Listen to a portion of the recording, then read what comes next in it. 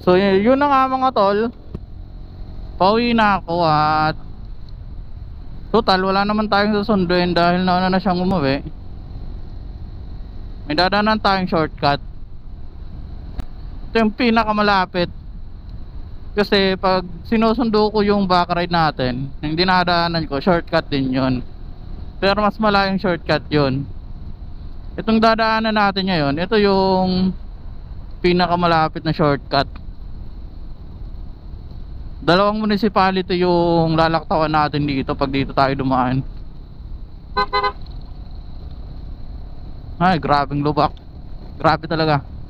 So yun nga, dalawang municipality yung malalaktawan natin dito. Kung dito tayo dadaan. Kaya, yun.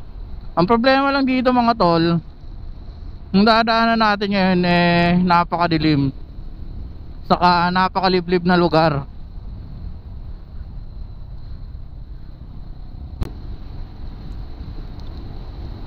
Pero minsan, dumaan ako, dumaan ako doon minsan mga tol. Na may nakasabay pa naman ako. May nakasabay pa naman ako sa pag-uwi. Pero hindi talaga doon daanan eh. Hindi doon daanan ng maraming tao, maraming sasakyan. Kasi napakaliblib niyang lugar. At konti lang yung may street light doon.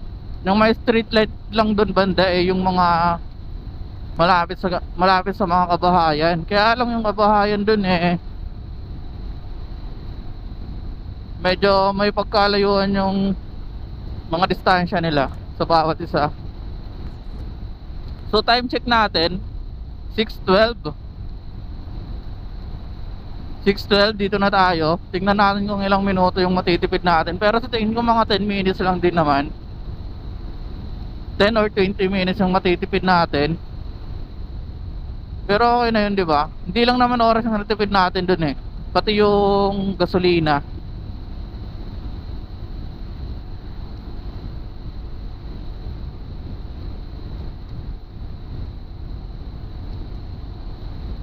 So gamit ko nga pala ngayong mini driving light mga tol is uh, Firefly version 2 May apat na wire. May tatlong modes Yung low beam ko is yellow.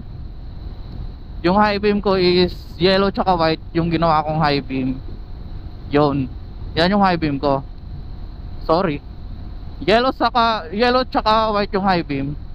Meron pang isang wire hindi ko pa nakakabit. Yung kulay white lang. Ano siya okay siya pang passing light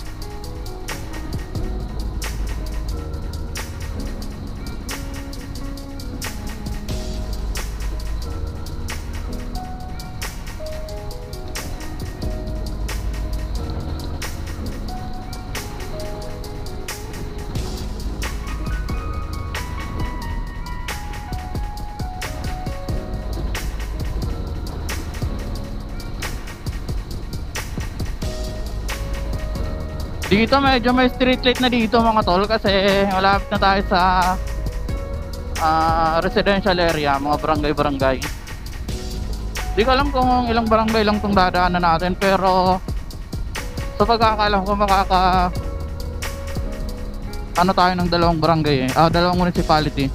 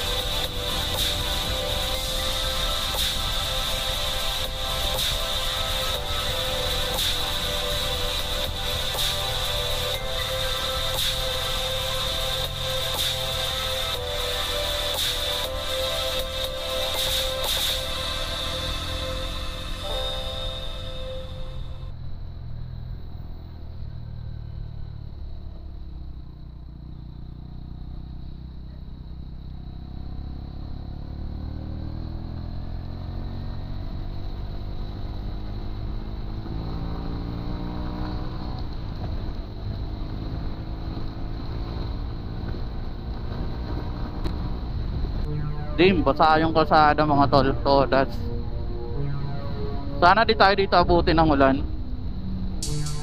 Kasi parang ulan na dito.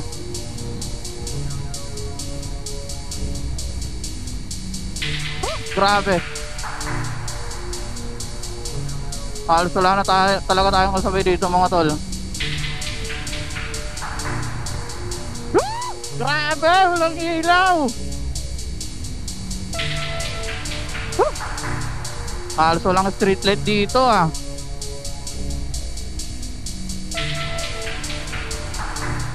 Dito meron na, good.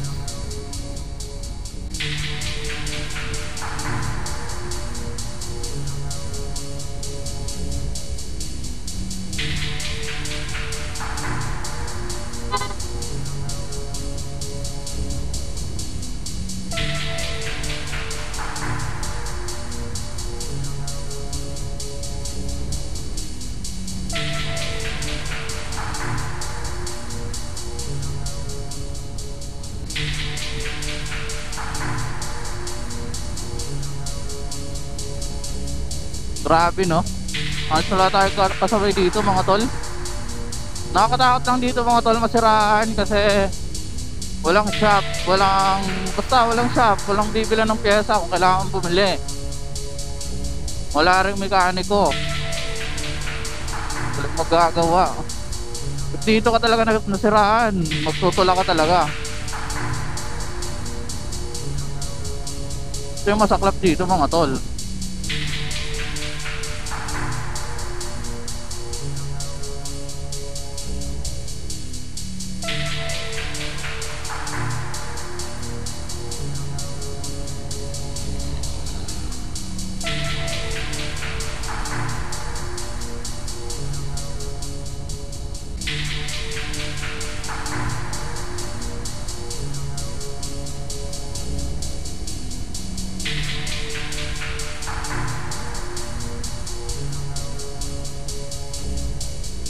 So dito na tayo mga tol, pagtawid nitong tulay dito sa baba. Medyo malapit-lapit na tayo nun. Ayos. Sorry tol. Kailangan ko ng high beam.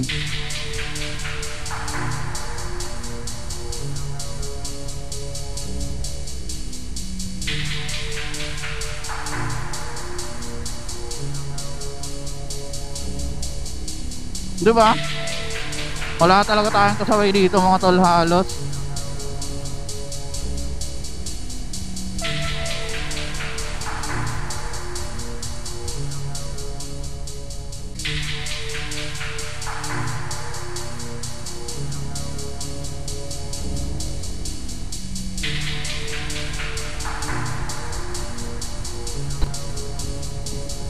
O di ba? Grabe. Kitang-kita nyo naman. Tayo lang dumadaan, walang street light. Woo! Kakatakot. Naninin naninindig na yung balahibo ko mga tol. Ito nga pala yung high beam natin, ang mini driving light natin. Di ba? Kitang-kita, buong kalsada. Pero nakakatakot talaga dito mga tol. Tumatayo ng mga balahibo ko.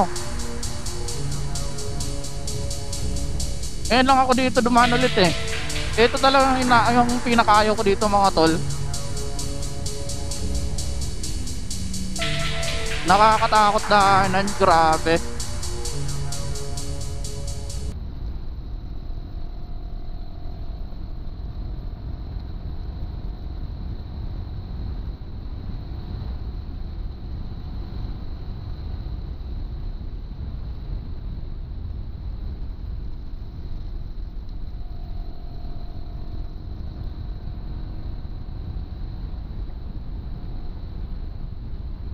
Dito medyo may mga bahay-bahay na dito.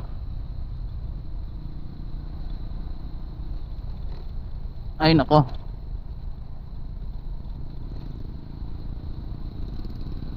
Okay, medyo malapit-lapit na tayo sa highway. Dito man din hindi masyadong nakakatakot, may mga bahay na naman kasi.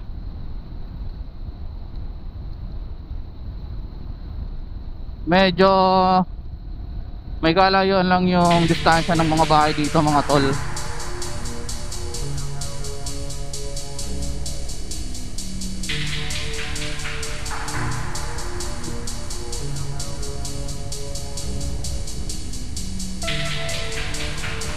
So yung nabiyahe natin siguro Santa Fe pa lang tayo ngayon. Santa Fe Leyte pa lang tayo ngayon kung hindi tayo dumaan dito. Thirteen minutes pa lang yung biyahe natin kanina.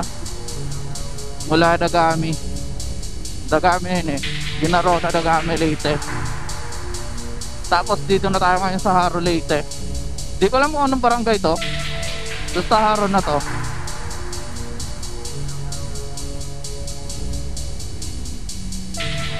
Six twelve kanina yun nung nag-time check tayo tapos ngayon 6.36 na 24 minutes pa lang tapos dito na tayo dun, dun kasi tayo dumaan sa highway kanina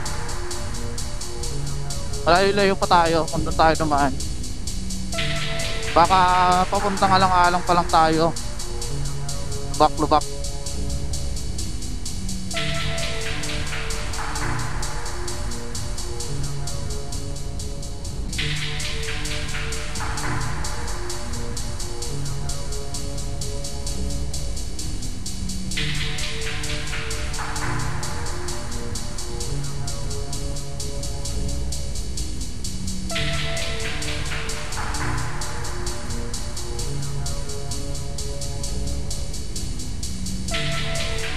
dito medyo may street light na dito mga tol. Saka medyo marami ng bahay dito